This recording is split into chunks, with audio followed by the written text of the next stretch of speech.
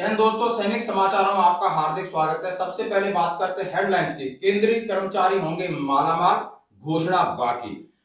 MSCP और ACP को लेकर यूनिटों में मनमानी, जवानों को हो रहा है घाटा और अहिर रेजिमेंट को लेकर जवानों की है मांग। दोस्तों, खबरें करते विस्तार से सबसे पहले बात करते हैं तीन परसेंट बढ़ोतरी, यानी तीन परसेंट डीए की बढ़ोतरी हो चुकी है। सिर्फ़ इसकी औपचारिक घोषणा बाकी है। ऐसा पेपर में आ रहा है और ये खबर रिलायबल है।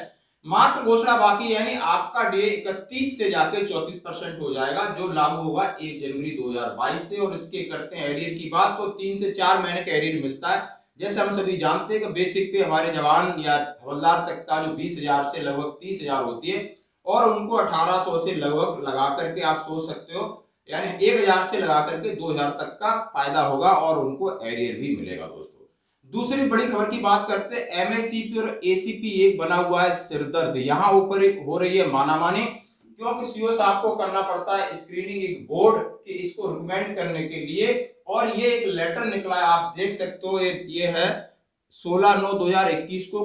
काफ़ी जवान कोर्ट की शरण में जा रहे हैं कि कोर्ट उनको एमएससीपी एसीपी दिला रहा है। और कोर्ट ने जो डायरेक्शन इशू कर दिए कि जो आपके आरबी रूल के मुताबिक है कि आपको पहला आपको एस e है आठ साल, फिर सोलह, फिर चौबीस साल में मिलना चाहिए और उसके लिए जो भी क्यू आर क्राइटेरिया वो यूनिट लेवल पर शॉर्ट आउट हो जाना चाहिए। और जवानों को कहीं घाटा न हो, ऐसा उन्होंने प्रावधान रखा हुआ है। तीसरी बड़ी खबर की बात करते हैं, जैसे देखा होगा, या हक की लड़ाई कहें या अस्तित्व की लड़ाई कहें, यानी जब सिविल में बहुत सारी मांग उठ रही है कि हमारे सेना के अंदर भी अहिर नाम से एक रेजिमेंट है, होनी चाहिए, जो कि बहुत सारी ऐसी रेजिमेंट है हम इसका स्वागत करते हैं कि अस्तित्व की लड़ाई, यानी अपनी कौमी एकता की लड़ाई।